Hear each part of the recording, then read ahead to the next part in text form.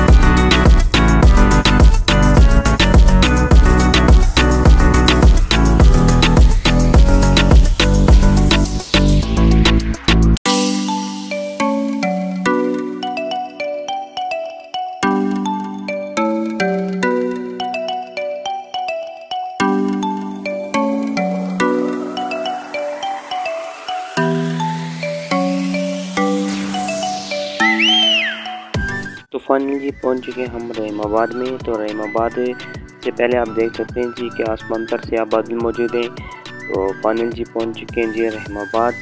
तो रहीमाबाद में जैसे ही आप इंटर होंगे ना तो कच्ची दुकानें, पक्की दुकानें, उसके साथ साथ जो है ना जीप्स वाला यहाँ पे बेशुमार मौजूद हैं। क्योंकि यहाँ से आगे जो है ना बहुत ही दुशवार रास्ते और बलखाती रोड्स और सड़क दोनों तरफ़ जंगलात होते हैं। तो और खली चढ़ाई होती है तो जिसकी वजह से ना मुश्किल होता है आम गाड़ियों के लिए। तो यहाँ पे जीप्स वगैरह का बहुत ज़्यादा इस्तेमाल किया जाता है। पानी देख सकते हैं जी रहमाबाद तो जैसे ही आप रहमाबाद को अलविदा करेंगे ना तो लेफ़्ट साइड पे एक रोड जाती है, सामने देख सकते हैं आप।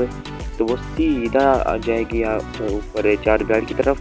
तो चार प्यार के और जो राइट साइड पे जो ना रोड है, जो आ रही है सामने सीधे चली जाती है जी। आगे किचन वाला की साइड हम इस पे जाएँगे क्योंकि ये इजी रोड है और ये अपना खूबसूरत रोड है और ऊपर में किचन है जंगलात का व्यू भी अच्छा आता है।